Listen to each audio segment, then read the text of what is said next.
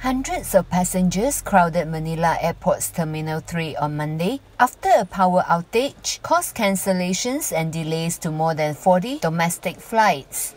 Sana ayusin niyo yung ano, sistema ninyo kasi madami po talagang apektado kapag ganito yung sitwasyon.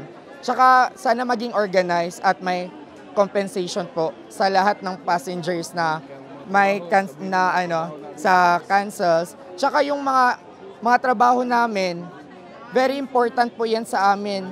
Kasi kapag na-miss namin yung trabaho namin, matatanggal kami eh. Ano ba yung mabibigay nila? Mabibigyan ba nila kami ng trabaho kapag matanggal kami? I'm coming from uh, from Denmark uh, to visit my girlfriend in Bacolod, and uh, she waiting for me in Bacolod. But uh, the flight from uh, uh, the connecting flight yesterday was cancelled.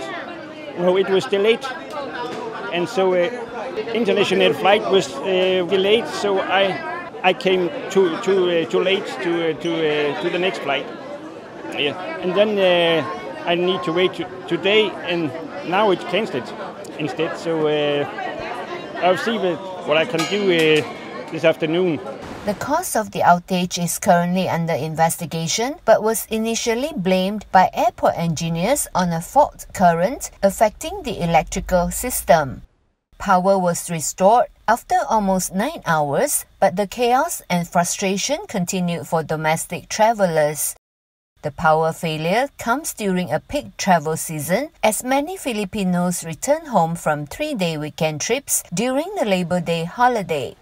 By 12:30 p.m. local time, a total of 48 Cebu Pacific domestic flights to and from Manila had been cancelled due to the outage.